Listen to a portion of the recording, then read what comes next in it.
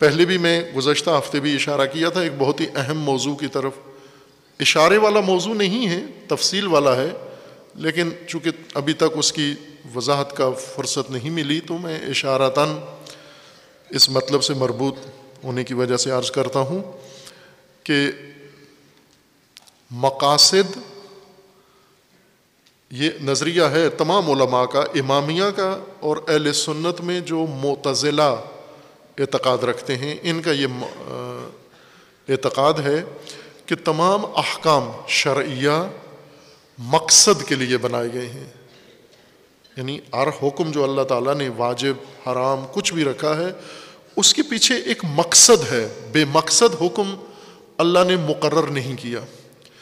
एक फ़िरका अहल सुन्नत में अशायरा ऐसे हैं जो ये कहते हैं कि ना मकसद होना ज़रूरी नहीं है। मकसद के बगैर भी जब अल्लाह ने हुक्म दे दिया है, फिर आप मकसद को मत देखो, फ़कत अल्लाह के फरमान को देखो।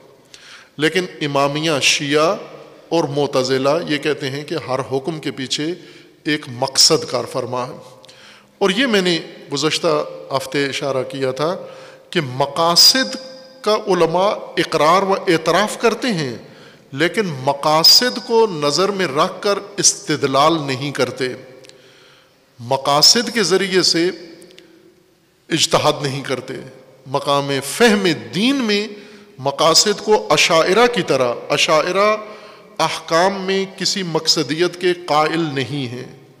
अहकाम में कोई मकसद नहीं होता, सिर्फ़ अहकाम में अल्लाह का हुक्म होता है बस। इस हुक्म से क्या मकसद है मसन नमाज़ जुमा से? क्या मकसद हासिल करना है? उनके नज़दीक कोई मकसद नहीं है।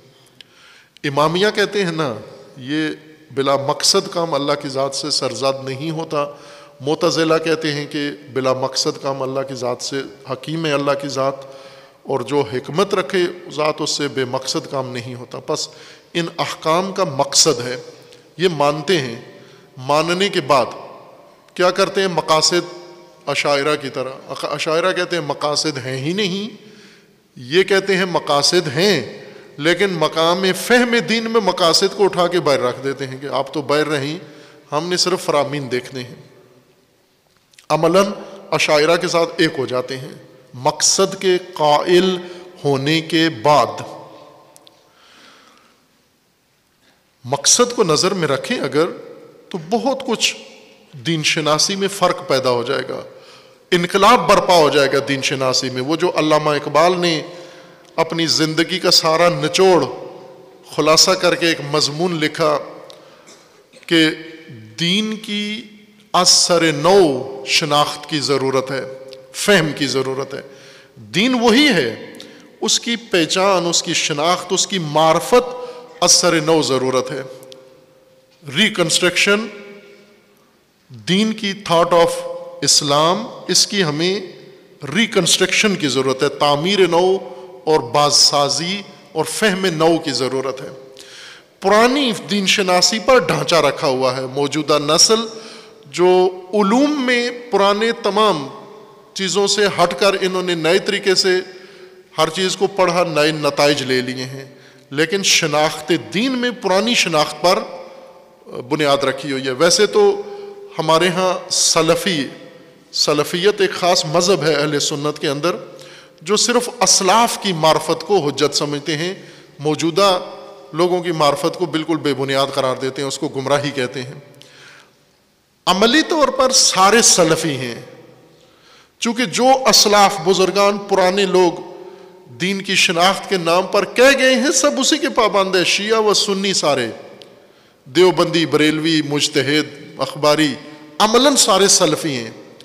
चूँकि अलामा इकबाल जिस कहते थे कि आपको हर नस्ल को नए सिरे से दीन की शनाख्त की ज़रूरत है, चूँकि हर नस्ल अपने जहन से, अपने इजतहाद से दीन को समझे।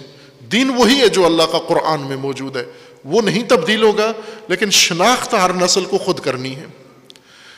अगर मकासद को मद्दनज़र रख कर दीन की शनाख्त की जाए, एक बहुत अजीम तहवल दीन की शनाख्त में पैदा होगा, और ज़रा जब दीन की शनाख्त व मार्फत में तहवल आएगा तो यकीन दीनी निज़ाम भी कायम होना आसान हो जाएगा।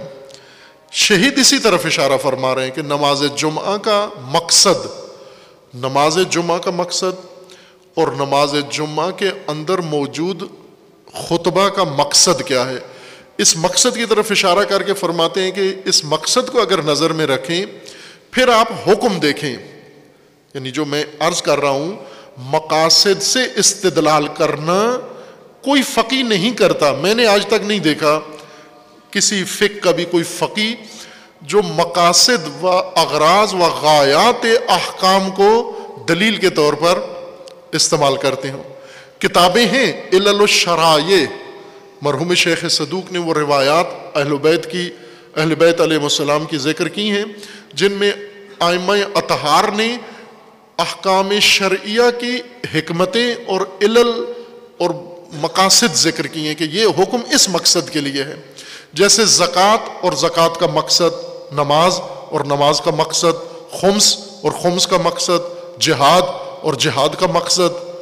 ये सारी चीज़ें मकासद रखती हैं अपने।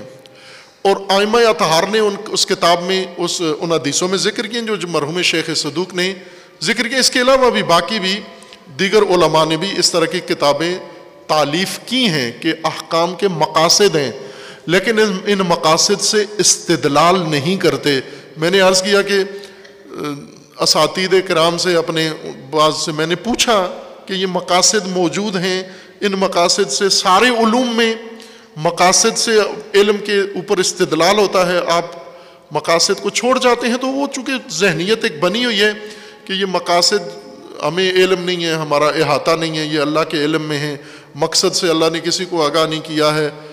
खूब अगर मकसद से आगाह नहीं किया तो फिर ये इंसान के लिए एक बेमाना सा हुक्म हो जाता है जिसका मकसद ही नहीं पता। अल्लाह ने मकसद भी साथ बयान किया है। कम अज़ कम जुम्मा का मकसद और नमाज़ जुम्मा का मकसद ज़िक्र किया है।